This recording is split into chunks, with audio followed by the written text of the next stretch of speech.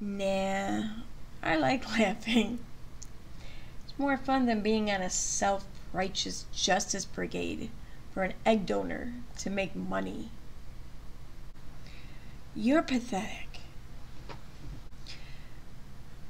So are you.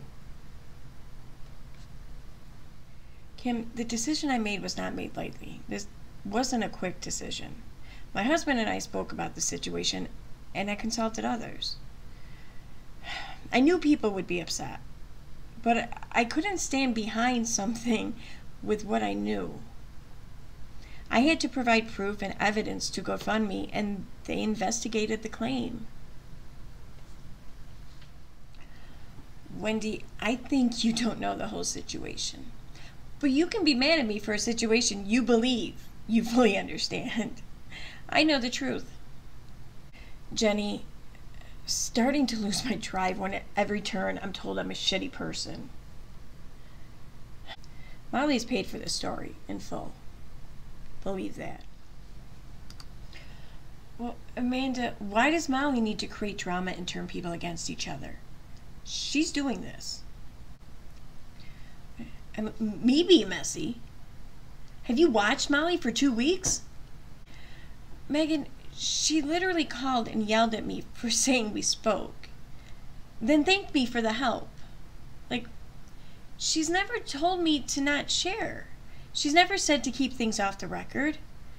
She yelled at me for sharing that we spoke. She didn't want anyone to know we talked. Why? I can only guess because of Molly.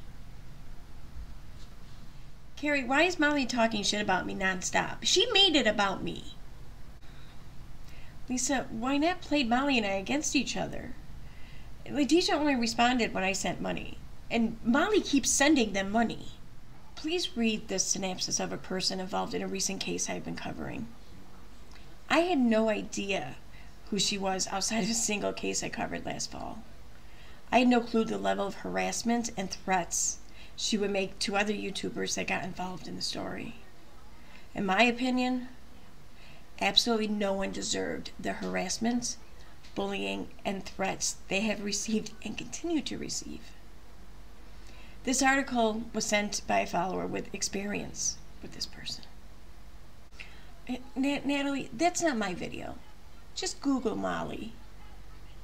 She's a vulture of tragedy and hurts people daily.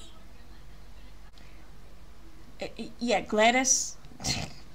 yeah, I'm not jealous of Big Juicy. Like at all. Ever. Amber, slander, slander is a lie. That's what Molly does. Remember when she said I stole a source or that harassed a family? I didn't do those things. Amanda, why does Molly need to create drama and turn people against each other. She's doing this. Oh, Linda, there is no justice for Von. He attempted suicide. His mom made up made up a fake story to make money. Wake up and request a refund. Yet, Lindsay, justice from his mom. Lindsay, nothing. You get scammed. Wake up. Yeah, she's an egg donor. Giving birth and abandoning your kid doesn't make you a mom. Shanta, your ignorance will make you poor. Have fun. Wanda, justice for Von is fake. It's legit fake. It was always justice for Letitia's wallet. Wanda, really? What about their crimes against the kids for educational neglect? Amisha, Von is in a coma. Von has doctors. Von does not need justice for a crime that hasn't been committed. The kids need help. Von unfortunately attempted suicide and now has no brain activity. Honestly, I haven't seen an update on the actual problem at hand in a while. There are none, because Letitia has cash apps to collect and drinks to have. I mean, ask for her receipts. She'll show you none.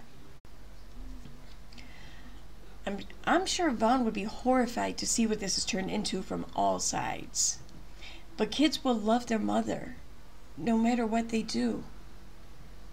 They will love their mother unconditionally, even if the mother doesn't show the same in return. she wasn't his mom. This right here. Letitia Bias seemingly wants to be the only person profiting off of Von. Why?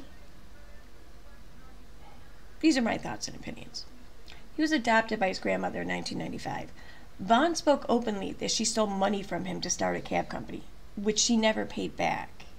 A reason why Von cut ties with her, she always wanted him to send her money.